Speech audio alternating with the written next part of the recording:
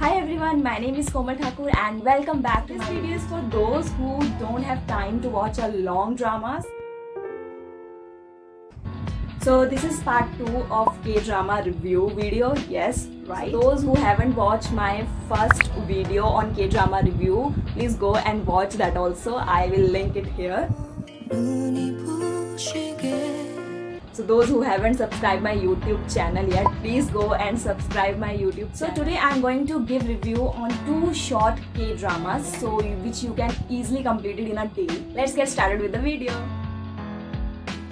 So the first K-drama is Hymn of Death. It has 6 episodes that is 35 minutes per episode so you can easily complete it in 3.5 hours. So this series depicts the tragic romance between the Joseon era soprano and the genius playwright. So those who are very much interested in sad stories then they will definitely watch this and it was amazing amazing story so you definitely gonna cry in the end.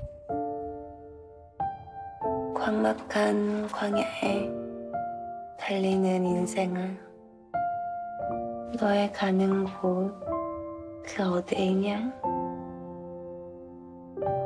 삶에 열중한 가련한 인생아 너는 칼 위에 춤추는 자도다 So the another K drama is The Sweet Revenge, which is completely opposite from the first one. So this series consists 11 episodes, which is 11 to 24 minutes this per episode. is filled with mystery, romance, and of course the sweet revenge which also have mentioned in their title and you will fall in love with this unique short K-drama it was amazing amazing k-drama so in this there is a mysterious app which shows up on girls app will uh, you know given a power to a girl to take an exact revenge on those who deserve it 당번 좀 대신해달라고 해줄 거지? 어, 어 그래. 잘 자고 이야. 잘 자 다정한 은우 오빠. 엄마라고 불러줘 은우 마누라 무엇이 중원데? 은우가 중원데? 무엇이 중원데? 뭐야 너? 일단 얘 보내고 얘기하시죠.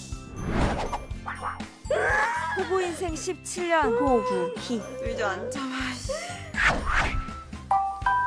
복수노트. 어떻게 된 거지? those who don't have time to watch a long series so definitely go with these dramas they were amazing amazing drama and both are opposite uh, from each other they have a different genre that is a tragic love story and uh, this one is another sweet romance it's like a comedy romance